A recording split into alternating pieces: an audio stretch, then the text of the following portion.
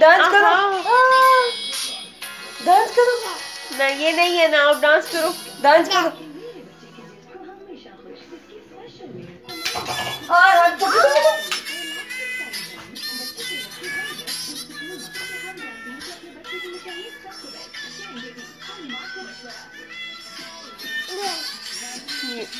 Dance करो। Dance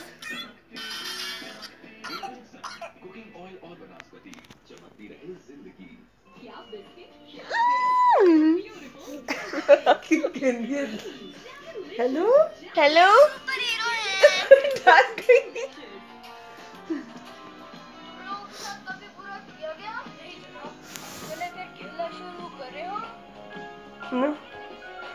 cover से निकाल देती वीडियो है वीडियो। ये लो। मुझे भी कहानी सुनाए ना।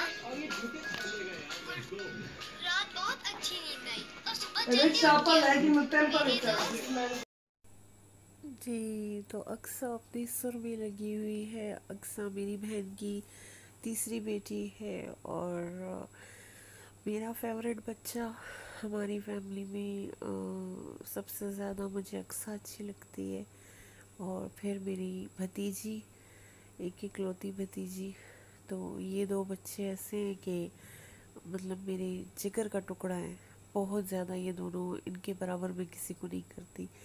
और ये मेरी बहन को भी पता है और मेरे भाई को भी पता है कि अक्सा और हलीमा की अपनी एक वैल्यू है ख़ास वैल्यू है। तो ये मैंने इस पर वॉइस ओवर की क्योंकि पीछे सारी फैमिली की आवाज़ें थी। जी तो अक्सा अपने फुल मूड में थी, लेकिन मुझे अक्सा की मज़े की आवाज़ें हटानी पड़ी। अक्सा इस एज में कहती होती थी, पुप मतलब चुप।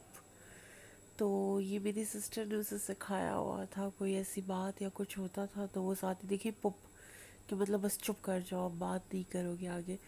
तो अक्सा के साथ खेलते हुए बहुत ज़्यादा मज़ा आता था और अक्सा जितनी मुझे अच्छी लगती थी अक्सा उतनी मुझे मुँह लगाती थी, क्योंकि उसे अपने मामू अच्छे लगते थे। अच्छा जी तो ये हैं जैनब मरियम और अक्सा अक्सा मरियम और जैनब।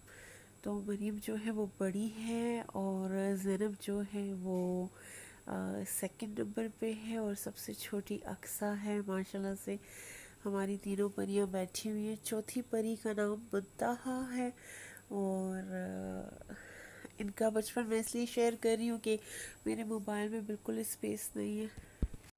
यहाँ पड़ा रहेगा तो ये सेफ़ रहेगा और कल को ये बच्चियाँ भी देखेंगी अपना बचपन खास कर अक्सा का, बहुत सारा बचपन मेरे पास है। बहुत सारा बचपन, बहुत क्यूट हरकतें करती थी। और ये ता कर रही थी इल्ला कर रही थी।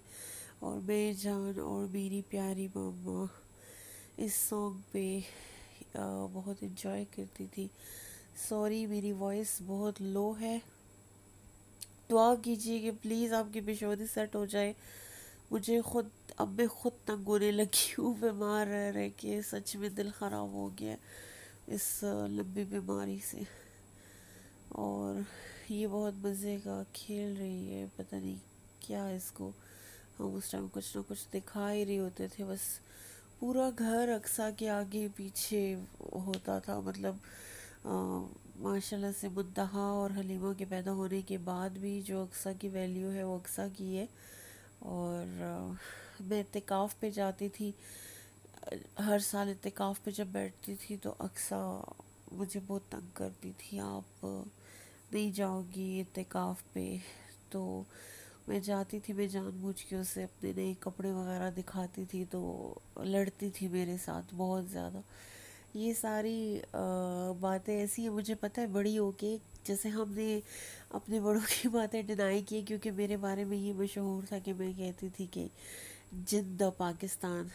तो मैं पहले बड़ी कुड़ती थी जब मामू लोग मुझे याद कराते थे। हाँ तुम तो कहती थी हर चौदह अगस्त पे कि ज़िंदा पाकिस्तान तो वो ज़िंदा, पाकिस्तान जिंदाबाद तो मैं वो नहीं बोल सकती तो मैं ज़िंदा पाकिस्तान बोलती थी।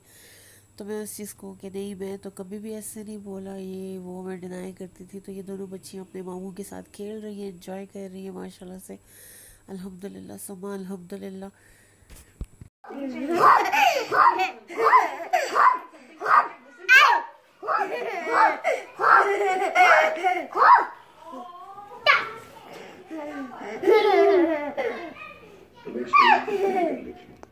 No, Hallo mi. Kaya biya yani ya koli. Assalamu alaikum. Assalamu. Ah,